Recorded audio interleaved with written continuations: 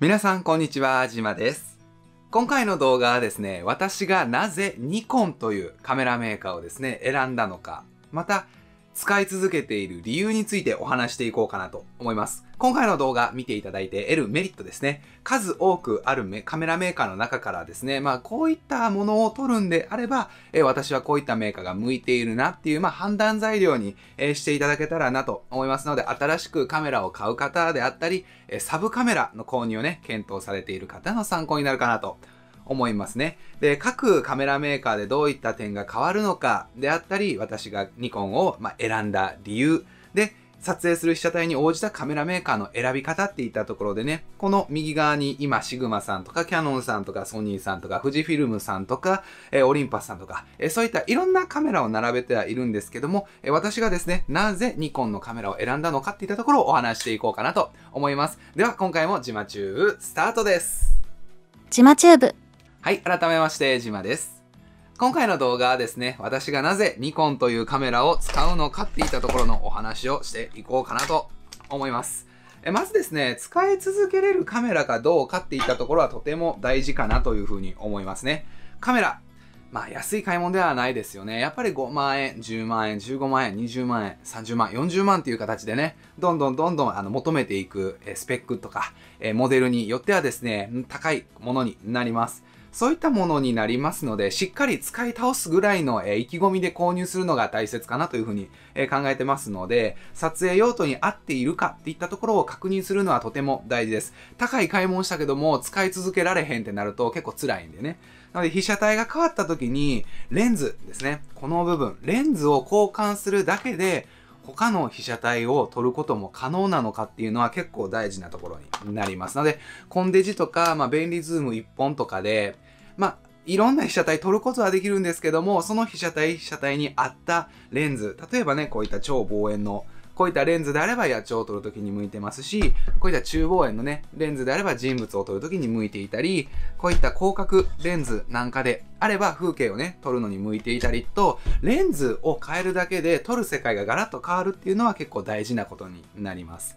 次はまあコスパがいいのかどうかっていったところですよね。えー、ロングセラーモデルであったり、型落ちのモデルなんかがまあコスパよく買えるかどうかっていったところも含めて、中古っていうまあ選択もあるかなとは思うんです。で、機能とか後続機などで、まあどの程度、え、改良されていくモデルなのかっていったと、まあ企業さん、メーカーさんの開発にかける体力っていったところですよね。こういったところも意識しておくといいかなと思います。で、利用頻度がですね、まあ高いのであれば、もうこの辺は無視してもらって、新品のものを買って使い倒すっていうのがいいと思います。で、利用頻度が低いとか、今からカメラを初めてちょっと練習がてらに、まあ、上達できればなっていう場合は、中古とか、えコスパのいいカメラで、まあ、使い倒してもらって、もう壊すぐらいの勢い練習してもらって、で、次の本格的にカメラを、えー、仕事につなげていこうとかいう時にですね、新品の、まあ、いいモデルっていったものを購入してもらうってたところが、まあ、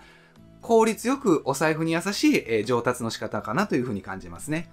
あとはまあ操作性ですね。えー、撮影のスタイルに合っているか。私は一眼レフのね、ニコンを使うので、大体このね、右の親指、人差し指周りに全ての操作ボタンが揃っています。D750 の時はですね、結構この左下に ISO 感度であったり、ホワイトバランスのところがガチャガチャしてて、設定が結構、いや、いこしかったところがあるんですが、もうね、D780 はもう右手の親指、人差し指に結構、えー、集中しているので、結構操作性がね、上がっているところがあります。あとは、えー、カスタムボタンなんかで、そういったところがご自身身の、え、利用用途というか、使いやすいものに、え、カスタマイズできるかっていったところは大きいですね。なのでまあこういった形で他の動画でレンズの選び方とか、え、中古のカメラ、レンズを安く買う、まあ賢い、え、買い物の仕方みたいな動画をね、一緒に上げているので、一緒にね、見ていってもらえたらなと思います。で、左下のね、20mm とか、えー 85mm とか、こういったものが、ま、単焦点の、ま、広角とか中望遠といったものになるので、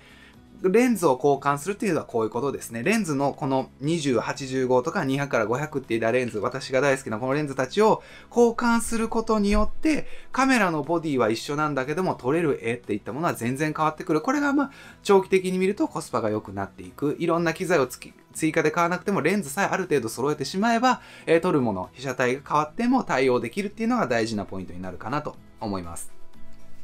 あとは、えー、カメラ選びの選びのポイントの続きとしては、色味ですね。えー、記録色とか記憶色みたいな形で、メーカーによっては色味って結構異なってくるんですよね。まあ、画像処理エンジンって言ったところが、まあ、変わってくるので、そういったところは、まあ、致し方ないというか、メーカーのね、差別化のポイントでもあるんですけども、えー、ロー現像なんかをする場合ですね、あんまり関係なくなってしまうかもしれないです。プリセットとか、えー、いろんなね、色をご自身で触る方の場合は、自分の好きな色味で調整してしまうので、あんまり関係ないんですけども、取って出し、えー、撮影して JPEG ですぐその場で納品っていった場合はですね、こういったカメラの、えー、色味っていったところですね。画像処理エンジンのところは結構大事になってきます。まあ、ポートレートとかね、その、冠婚葬祭、フォトスタジオなんかとか、あとは商業カメラマンの方の場合は、まあ、キャノンの方が、まあ、色味はその場の取って出しで納品するには適しているかなと個人的には、え、感じますねで。自分が好きな色味とか表現に近い写真を出してくれる、え、カメラがやっぱ適しているかなと思います。私は風景とか動物をよく、え、撮るので、どちらかというと自然色、今私たちが目でそのまま見ている色そのものを記録するとか、暗い環境で黒をきれいに出してくれる、まあ、ニコンっていったものが良いかなというふうに、えー、カメラ買うときに判断した、いろんな知識がないな時なりに、えー、勉強して得た判断でしたね。あとはまあ、画像処理エンジンってなんだろうね、その、カスタマイズみたいにカチャってと付け替えることって多分そうそうできないと思うんです。メーカーさんに送ったらなんかできるんかもわかんないですけど、普通はできないと思います。なんだろう、このレンズ変えるみたいに画像処理エンジン変えようみたいなのはちょっと無理やと思うので、まあ、ここはね、購入時に慎重になってもらえたらなと思いますね。まあ、ピクチャーコントロールなんかがね、あるので結構、うん、まあ、ある程度ご自身の好きなものに変えることは可能かなと思いますね。ポートレートとか、えー、ネイチャーとかね、いろんな、あとはビビットとか、ニュートラルとか、モノクロとか、ピクチャーコントロールで自分の好きな色に変えるってことは可能なので、こういったところをね、ぜひ活用してもらえたらなと思います。で、あの、ピクチャーコントロール D780 に変えた時にですね、D750 でそんなに種類なかったんですけど、780はピクチャーコントロールがめちゃくちゃ種類多くてですね、それについて語っている動画もありますので、ぜひね、一緒に見ていってもらえたらなと思います。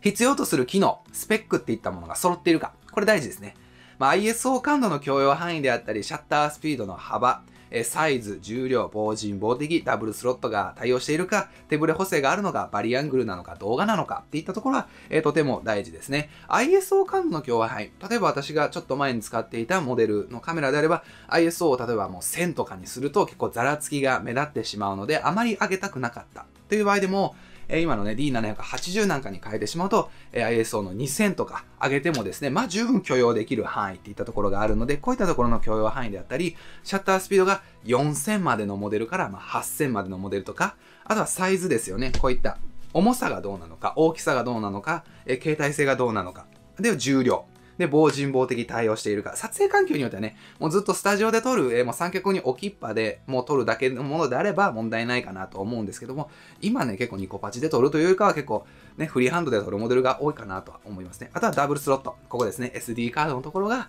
えー、まあ、シングルなのかダブルなのかっていうところがこだわるポイントかなと。あとはま手ブレ補正。レンズ側でね、手ブレ補正なんかがね、ついてるものもあるんですけども、まあ、ボディ側でもね、手ブレ補正がカバーしていると、まあ、よろしいですよね。で、バリアングルですね。こういった形で撮れるものなのかどうか。あとは動画機能なんかもね、優れているかですね。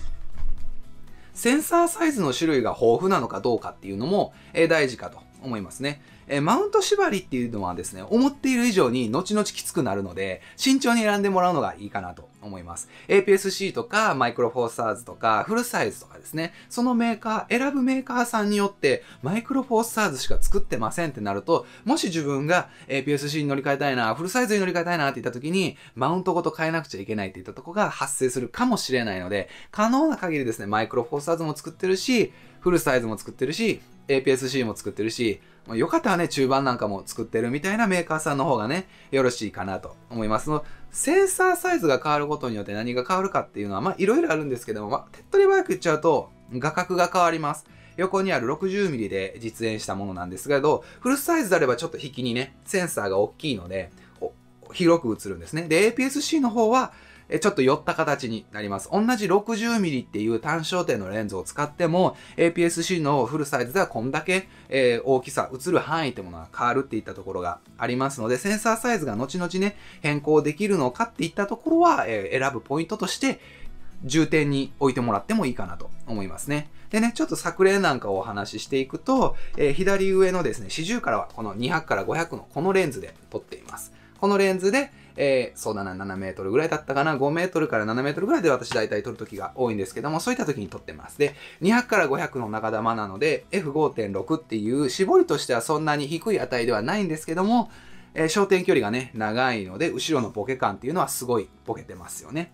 他にもですね、ちょっと作例を流しながら次のスライドに移っていこうかなと思うんですけども、えー、私がニコンを選んだ理由ですよね。まあ、撮る楽しみが強かったってのがやっぱり一番大きかったです。そのスペックとかいろんなことが、まあ、大事ではあるんですけど、それ以上に煮込んで撮るのが楽しいっていうのが各メーカーさんのカメラを持った時に、まあ、感じた印象なんですよね。テンションが上がる機材っていうのはやっぱ楽しく撮り続けるのには大切なんですよね。何がテンション上がったかっていうと、まあ、グリップ感とシャッター音が、え当時は大きかったですね。モチベーションを維持してですね、まあ、機能面とか撮影の効率化っていったものを目指すのであったり、あとは、え、自分がイメージしているカメラに近いっていう、なんだろうね、なんか、なんかわからないけど、刷り込まれてるのかわからないんですけども、カメラはニコンだろうという、勝手によくわかんないす、あの、刷り込みが結構ありまして、で、それで、よくニコンのコーナーに立ち寄ってたっていうのがありますね。で、長い目で見るとコスパがいいかどうかっていったところで、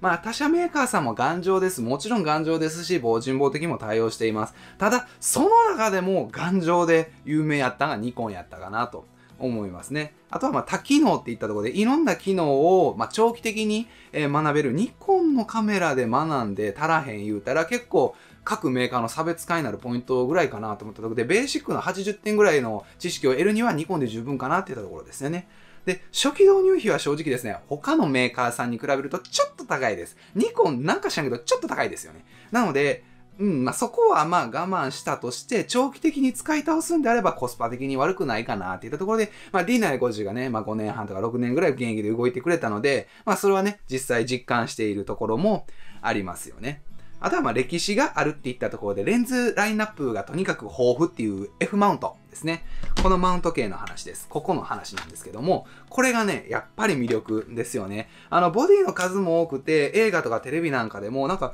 やっぱね、このニコンのロゴっていうので、なんか、なんか記者会見とかされてたりすると、やっぱここのニコンのロゴが映ると、あ、ニコンのカメラがあるわ、あ、キャノンのカメラあるわ、みたいな形で、ニコンのカメラにちょっとね、なんだろう、一般ユーザーなんだけども誇りを持つっていったところがあったので、あとは APS-C とね、フルサイズなんかのセンサーサイズの変更も、えー、簡単かなと。始めた当初は D の3000番台シリーズなんかを使っていて、まあ、APS-C からいろいろ学んでいって、いや、3000、5000、7000ではできないことがある、撮れない写真があるっていう風に感じた時に750に乗り換えたって形でセンサーサイズとか機能をですね、同じ F マウントで乗り換えれるっていうのはやっぱり大事だったかなというふうに思いますね。で、もともとは動物とか水族館の、えー、生き物を撮っていて、そこから風景に移って人物を撮るようになって、そこから、えー、人物の中でも作品撮りのような形のものを撮るっていったところ、あとはまあ野鳥ですよね。被写体とか撮影スタイルっていったものは私がこの15年間カメラを始めて続けてきた中で結構変わっていってるんですよね。で、まあこれからもいろいろ変わっていくやとは思うんです。そういった時に、まあニコンの F マウント使ってて撮れへんもんはまあないやろうなっていうふうにうん、思いますね。月とか、まあよ、うん、そうですね、夜景、うん、でもねあり、ありますしね、夜景向けのモデルもあるので、まあ、F マウント使ってたら、まあ安心かなっていったところはありますね。で、ニコンの色が、まあ個人的に好みっていったところありますね。明暗差が、えー、強いところでの黒の表現が、まあニコンは強いっていったところがありますね。で、これがね、ちょっとね、うん、結構辛かったところなんですけど、あのね、ニコンのカメラを使ってました。動物撮るのは楽しいです。人物、あの、風景撮る楽しいんです。めちゃくちゃいい、満足してました。ただね、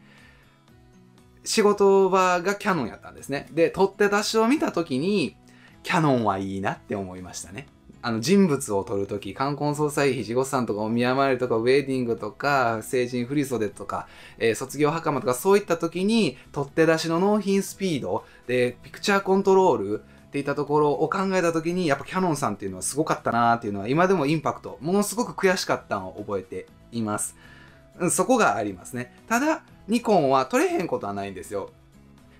忠実に再現するので私たち日本人は黄色く映るんですよね。忠実に再現するんで。うん。っていったところがありますのでまあ、動物風景を撮るには大切にしたいポイント、忠実に再現するニコンっていったところが、人物を撮るときにはちょっと私の中では引っかかったポイントにはなったんですよね。ただ、仕事機とは違う表現をするメーカーっていったものが、まあ一つのね、このニコンで理想とする人物の肌色を求めていくにはどういう設定をしていってどう追い込めばいいんだろうっていうのは結構考えて試行錯誤したのでその経験はですねうん、良かったかなと思います。あそこで私がキャノンを使っていたらもう撮って、その場で出来上がったっていう形になってたので、あの、悔しくも悩んだ時期っていうのは結構自分の中での写真の色とか質っていったものに対する追い込みっていうので、うん、大切な時間やったかなというふうには感じますね。で、まあ、撮影する前に、あの、仕上がりが予想できてしまうっていうところに違和感は若干あったんです。もうキャノンでこのレンズでこの感じで撮るとこう出てくるだろうなっていうか、それが信頼感、信頼感だとは思うんです。あの、メーカーとか写真の出来上がりに対する。ただ、それがちょっと面白くないなっていうところもあったので、まあ、ニコンの色がいい意味でも悪い意味でも個人的に好みかなっていうところはありますね。で、もしね、あの、ニコン愛用者様がこの動画今見ていらっしゃる方がいらっしゃれば、なぜニコンを使うのかっていうのをね、皆さんのまご視点で、えー、ニコンを使う理由とか、逆にキャノンとか、えー、ソニーを使う理由みたいなのもぜひコメント欄なんかでね、教えてもらえると、えー、嬉しく思います。私は結構ニコン一本で言っている人間なので、逆のね、あの、他のメーカーさんのご意見みたいなのを知りたいかなと思いますね。では、Q&A に移ります。ニコン、ニコン、ニコンを進めるかどうかっていった、えー、Q に対して私は正直なところ、いいえ進めませんという回答をします。時代が結構変わったところがあるんですよね。当時ってニコンとかキャノンとか、まあ、うん、選ぶってなったら大体そのどっちかかなで。で、こだわりたいんであれば、他社メーカーさんもありますよね。オリンパスとか富士ビューさんもありますよね。とかいろいろあったんですけども、今となっては、ニコンを進めるかっていうと、特別頑丈とか撮影する環境が激しくない限りは別にニコンでなくていいかなって正直思います。私自身がカメラ全部売っ払ってゼロから始めるってなったら結構いろんなメーカー悩むと思います。で結果自分の撮影スタイルがある程度分かっているのでもうニコンに行くかなとは思うんですけども皆さんの撮影スタイルが全然違うと思うので、ニコンを絶対進めるっていうわけはないかなと思います。やっぱりね、カメラは安い買い物ではないっていう、まあ、振り出しのね、ところに戻るんですけども、皆さんに適した選び方っていうのがあると思います。で、機材を選ぶ上でやっぱり大切なポイントとしてはですね、まあ、何を取るのかを把握することっていうのは機材を選ぶ上でめっちゃ大切やと思うんですね。人物を撮るのか、風景を撮るのか、スナップなのか、街並みなのか、家族との思い出なのか、え電車とかね、あと新幹線とかそういった方であったり、飛行機とか、ペットとか、動物とか、野鳥とか、動画をメインで撮るとかね。そういったものによって全然メーカー選びとか使う機材、あとはレンズっていったところは全然変わってくるので、別にニコンを必ず進めるってわけではないです。ただ、私の、えー、今までのね、いろんな作例とか他の動画を見ていただいて、あ、ニコンでこんなもんが撮れるんやなっていったところを感じた方で、特にニコンに、なんだろうね、抵抗がないというか、ニコンがいいなと思う方は、ぜひね、ニコンをご検討いただけたらなと思います。ただ、企業として、メーカーとしての勢いは、正直ソニーさんとかキャノンさんの方が強いかなって個人的には思います。まあ、確実性をね、ニコンさん狙ってるかなっていったところはあるので、面白い機能なんかはやっぱりソニーさんの方が強いと思います。ただ、トラブルとか信頼性っていったところでは私はニコンが問題ないかなというふうに思います。で、昔ほど、エクスピードの4の時代、750とかの時代の時は、黄色っていったところは、人物の肌色ねっていったところは気にはなってたんですけども、XB の6、今のね、780にそれを思うかっていうと全然何も思わないです。ニコンっぽい綺麗な肌色を出してくれます。まあ、D850 とかね、XP の5とか、なんかあの辺が出てきた時ぐらいからニコンの黄色っていうのは正直そんなに私は気にならなくなってます。で、もう今のね、XP の 6Z6 なんかも含めて、もう十分綺麗な色かなと思います。キャノンさんとかソニーさんとはまた違う、えー、人物の、まあ、色っていったところで、まあ、問題ないかなというふうに思いますので、瞳元フォーカスもつきましたし、ニコンで人物を撮るっていうのも全く問題ないかなというふうには感じますね。で、何を撮るのかが現状決まってない方の場合はですね、撮りたいものは何ですか？とか、スマホで日常的に何を撮ってますか？とか、あとはこういったところから絞り込んでもらうとですね、まあ、メーカーっていったものが絞り込まれるかなと。もし散歩とか、ちょっと旅行行く時にメインでカメラ使うって場合であれば、えちっちゃい小型のね、ミラーレスであったりとか、コンデジっていったものが、もしかしたらメインになるかもしれないですし、もう三脚立ててがっちり、えー、一日何時間かけて1名の写真を追い込むっていうんであればですね、まあ、フルサイズのメーカー、もカメラを展開しているメーカーさんの方がよろしいかなって思いますね。いろんなレンズもありますしね。まあ何でも撮りたいんであれば、まずはコンデジとかミラーレスとかですね。ちょっと次のね、スライドで全体のイメージ見せるんですけども、コンデジはやっぱりちっちゃいですよね。一番上のやつですね。ソニーのサイバーショット、まあ RX100 とかですよね。で、ミラーレスになってくると、え、ちょっと大きくなります。まあ、ニコの Z50 とかね、えー、富士フィルムさんの XT4、これめっちゃ売れてますよね、今ね。こういったもので、もっと本格的に追い込みたいんであれば、えー、まあ D6 とかね、この、まあ、もうそろそろ発売しますよっていうね、正式な発売日が発表された、まあ、フラッグシップ機なんですけども、こういったものを自分がどれを持っているのがイメージできるのかっていったものを想像してもらうと、えよろしいかなと思います。なので、まあ、先ほどのお伝えした内容にちょっと戻るんですけども、撮りたいものが本格的に、まあ、絞り込めていないんであれば、コンデジとかミラーレスで新品でなくても無理に、あの買わなくても中古とかでですね、まず自分がまあ、カメラを撮るっていったところに慣れてもらって、もっと具体的にイメージできるようになってから、えー、高いモデルを買ってもらえたらなというふうに感じますね。なので私が、えー、ニコンをなぜ使い続けるのかであったり、まあ、選んだ理由っていったところはこういったところですね。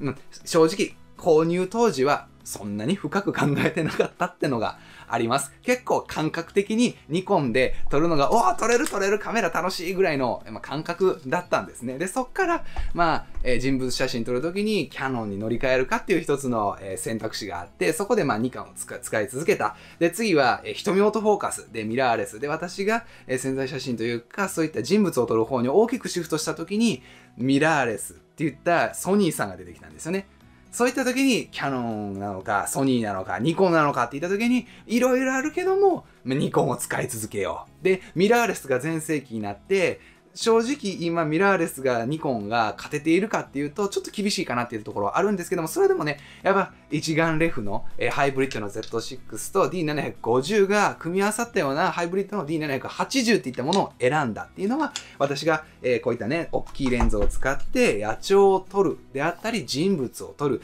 いろんな撮影スタイルに合わせた被写体に合わせたものを対応できるこの F マウントっていったものを、え、重視したっていったところが、えポイントになりますね。あ、そうそう。初めての方はね、ぜひこれ、あの、こんな形でいろんなお話ししてるので、チャンネル登録よろしくお願いいたしますね。では、また次の動画でお会いしましょう。またね今回も自マチューブを最後まで見てくださってありがとうございます。このチャンネルではですね、撮影技術、ビジネス、ライフシトについて主に配信しておりますので、左下のチャンネル登録ぜひよろしくお願いいたします。今回の動画以外にもですね、面白い動画たくさん作っておりますので、右下のおすすめ動画の欄からですね、他の動画もぜひチェックしてもらえたらなと思います。また次の動画でお会いしましょう。またね